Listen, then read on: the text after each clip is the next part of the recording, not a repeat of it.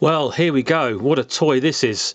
Um, this is made by a Japanese company, ASC. Um, this is probably the rarest Thunderbird 2 model there is out there of this period. Uh, 60s battery operated. Never seen one before. Owned, again, tried to do a bit of research on it. Only found one out there, and that didn't have a box. Uh, incredibly rare uh, tin plate uh, 60s toy. Uh, as you can see from the box, it says Space Patrol firing engine with noise, battery powered mystery action.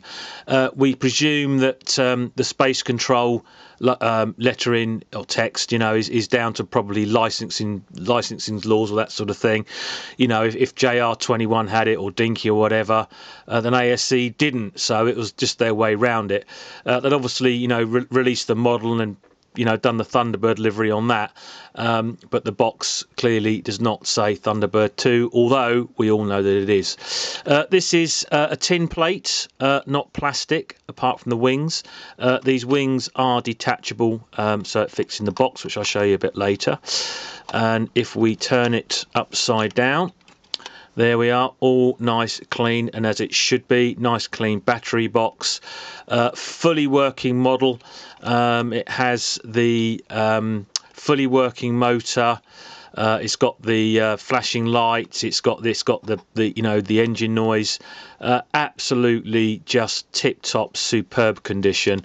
Don't think you know you're going to find a better one of these anywhere. It's such a rare model. And if we just operate here, it's just a simple little switch that you turn there. And as you can see, away she goes.